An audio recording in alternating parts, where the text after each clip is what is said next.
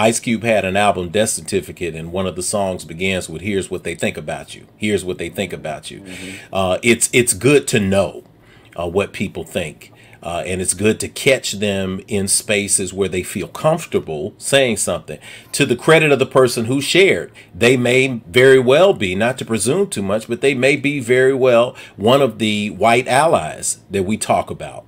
Uh, and we talk about, hey, what can we do behind closed doors? And one of the things that the late Dr. Frances Cress Welsing used to say is that if you're white and you want to help make a change, you've got to tell black people and other people what is said in the room when there are no other black people there.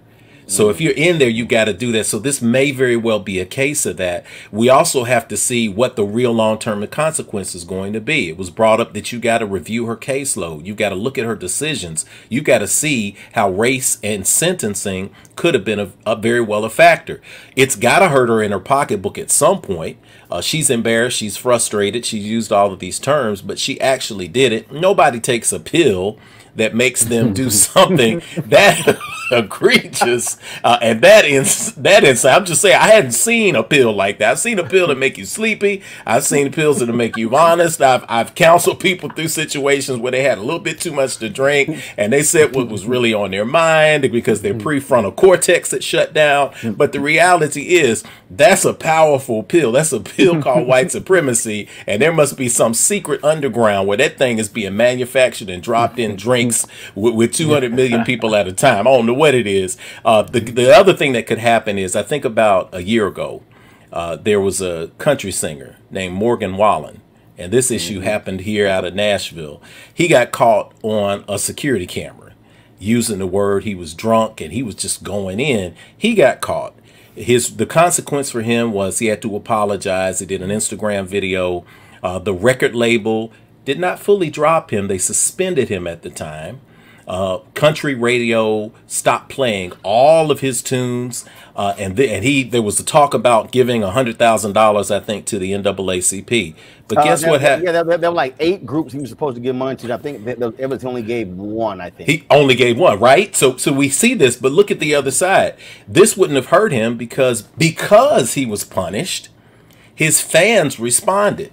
So his digital album sales went up 1,220%, and his album sales went 3, 327% in an increase just because of the incident. He had to get online and tell his fans to stop defending him.